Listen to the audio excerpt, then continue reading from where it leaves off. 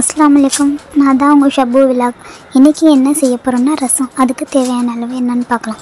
கொஞ்சம் மிளகு போட்டுக்கோங்க. டூ டேபிள் ஸ்பூன் அதுக்கப்புறமா ஜீரகம் போட்டுக்கோங்க. ஒரு ரெண்டு டேபிள் ஸ்பூன் ரெண்டு ஜீரோ டேபிள் ஸ்பூன் ஜீரகம் போட்டுக்கோங்க. உங்களுக்கு எவ்வளோ வேணுமோ தேவையான அளவு. இது எங்களுக்காக சொல்கிறேன் கருவேப்பிலை போட்டுக்கோங்க கொஞ்சோண்டு. ஒரு நல்லா வாஷ் பண்ணி போடுங்க. அப்போ தான் நல்லா இருக்கும் ஏன்னா மண் மண்ணாக இருக்கும் மார்க்கெட்லேருந்து வரது அது கீழெல்லாம் வச்சு சேல்ஸ் பண்ணுவாங்க. அதனால நல்லா கழுவி ஊற்றுங்க ஆனியன் எடுத்துக்கோங்க. ஒரு ரெண்டு ஆனியன் எடுத்துக்கோங்க. உங்களுக்கு எவ்வளோ வேணுமோ அவ்வளோ எடுத்துக்கோங்க. அது நல்லா பெருசு பெருசாக கட் பண்ணிக்கோங்க. ஏன்னா அரைக்க தானே போகிறோம் ஒரு ரெண்டு எடுத்து நல்லா கட் பண்ணிக்கோங்க.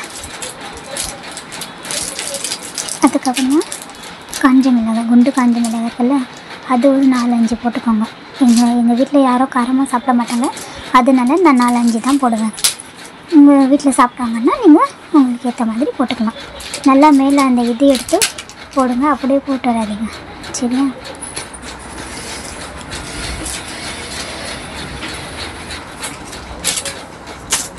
நல்லா மூடி அரைச்சி வச்சுக்கோங்க.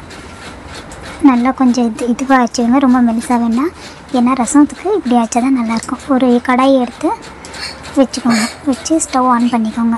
ஆன் பண்ண பிறகு நல்லா சூடாகட்டும். ஏன்னா தண்ணி இருக்கும்ல கழுவி வைக்கிறோம். எண்ணெய் போட்டால் அப்படியே இதாகிடும் நல்லா சூடாகட்டும். அது வரையும் புளி கரைச்சி வச்சுருக்கேங்க புளி கரைச்சி வச்சுட்டு எண்ணெய் சூடாகிடுச்சு அதுக்கப்புறமா எண்ணெய் ஊற்றிடலாம் எனக்கு தேவையான அளவு நான் எண்ணெய் ஊற்றிக்குவேன் ஊற்றிட்ட பிறகு எண்ணெய் நல்லா கொதிக்கின பிறகு கடுகு போட்டுக்கோங்க. ஒரு ரெண்டு டேபிள் ஸ்பூன் போட்ட பிறகு நல்லா சவுண்டு வரும் ஒரு மாதிரியாக சவுண்டு வந்த பிறகு கொஞ்சம் தள்ளியே நில்லுங்க. ஏன்னா அப்படியே மேலே பட்டணும். சமைக்கிறது பெருசு இல்லைங்க. கருவேப்பிலை போட்டுங்க. சமைக்கிறது பெருசு இல்லை. அது எப்படி சேஃப்டியாக சமைக்கிறது தான் இருக்குது தக்காளி எடுத்து கட் பண்ணி வச்சுக்கோங்க. நல்லா ஒரு நாலு தக்காளி கட் பண்ணது நாலு பத்தியாக கட் பண்ணிக்கோங்க. கட் பண்ணிவிட்டு அதை எடுத்து போட்டுக்கோங்க எண்ணெயில். நல்லா வதக்கின பிறகு நல்லா வதக்கணும். மஞ்சத்தூள் ஒரு டேபிள் ஸ்பூன் போட்டுக்கோங்க.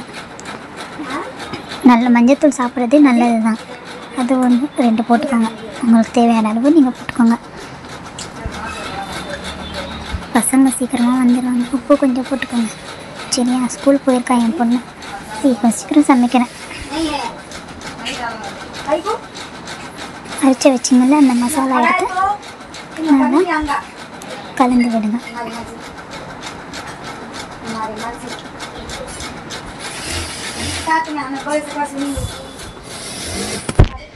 மசாலாலாம் நல்லாமே போட்டுக்கிட்ட பிறகு நல்லா கிளறணுங்க. நல்லா வதக்கின பிறகு தான் பச்சை வாசனை இருக்காது. ஆமாம் பசங்க எல்லாம் சாப்பிடுவாங்க நல்லா இல்லைன்னா ஒரு வாசனை ஸ்மெல் வருது மம்மி வேண்டான்னு சொல்லுவாங்க. அதனால நல்லா வதக்கு அரைச்சி வச்சோம்ல அந்த இது புளி சார் அந்த தண்ணி எடுத்து நல்லா ஊற்றிடுங்க உங்களுக்கு எவ்வளோ புளிப்பு தேவையோ அவ்வளோ ஊற்றுக்கோங்க நான் டூ டைம்ஸ் நல்லா இது பண்ணுவேன். டூ டைம்ஸ் அந்த தண்ணி போடுவேன். வேஸ்ட் பண்ண மாட்டேன். ஏன்னா ரொம்ப கர்ஸ் இதுவாக இருக்கும். புளிப்பாக அதனால நல்லா டூ டைம்ஸ் கலக்கி விட்டுடுவேன். ஆச்சி மசாலா தாங்க நான் யூஸ் பண்ணுங்கள் ஆச்சி ரசப்பொடி நல்லாயிருக்கும் நீங்களும் யூஸ் பண்ணி பாருங்கள் பார்த்து கமெண்ட் பாக்ஸில் கமெண்ட் பண்ணுங்கள் உங்களுக்கு தேவையான அந்த மசாலா போட்டுக்கோங்க. ரொம்ப போடாதீங்க. கசப்பாயிடும். குழந்தைங்க சாப்பிட மாட்டாங்க. சரியா?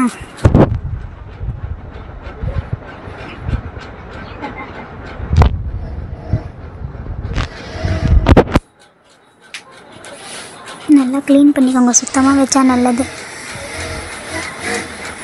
டேஸ்ட் பண்ணி பாருங்கள் உப்பு தேவையான அளவு இருக்கான்னு நல்லா கொதிக்க ரொம்பவும் கொதிக்க விடாதீங்க. ஒரு நார்மலாக கொதிக்க விடுங்க. அது அப்படியே பபுள்ஸ் மாதிரி வரும். நல்லா மேலே தண்ணி மாதிரி கீழே இருக்கிற அந்த ரசம் எல்லாம் மேலே வரும்.